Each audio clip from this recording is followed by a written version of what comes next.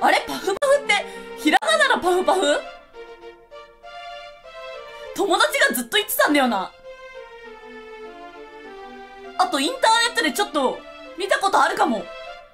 はい。うふ、じゃあ行くわよ。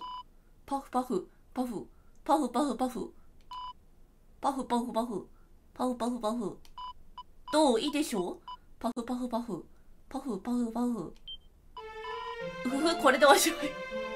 どうもありがとう。また来てちょうだいね。え？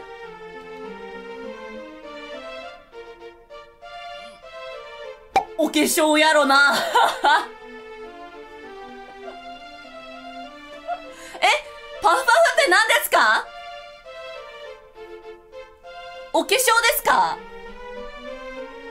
お城やろな いや、そんな、こんなにパフパフするんだったら、そりゃ、お化粧のパフで粉をはたいているんやろうなえ、でもなんでパフパフって言うの？どうしたの？起きて。パフパフパフ。うぷぷ、たまらん。むにゃむにゃ。おい、こいつも、パフパフされてるやん。ドラクエ。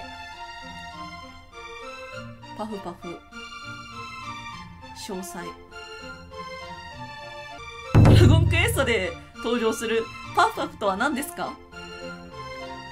パフパフはパフパフ以上でも以下でもなくまさにパフパフでしかありません。人が思うパフパフは人の数だけ存在しています。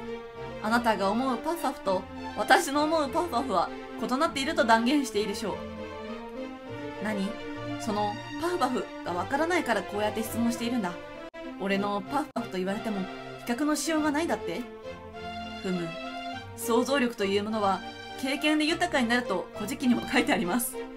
あなたにはその経験が若干少し決定的に致命的に壊滅的に不足あるいは皆無なのかもしれません。え？